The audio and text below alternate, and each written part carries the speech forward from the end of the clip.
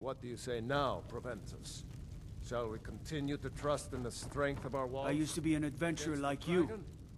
Then I took an arrow in the knee. Send troops to Riverwood at once. It's in the most immediate danger. If that The Jarl of dragon is lurking in the Falkreath. Staying mountains... safe, I That's a hope. provocation. He'll assume we're preparing to join Ulfric's side and attack him. We should not... I'll not stand idly by while the dragon burns You my tried home mercenary and work? Slaughters my It people. might suit you. Irileth, send a detachment to Riverwood at once. Yes, my Jarl. If you'll excuse me, I'll return to my duties.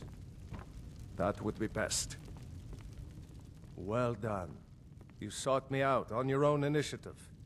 You've done Whiterun a service, and I won't forget it. Here, take this as a small token of my esteem. There is another thing you could do for me. Suitable for someone of your particular talents, perhaps. Come, let's go find Faringar, my court wizard. He's been looking into a matter related to these dragons and rumors of dragons.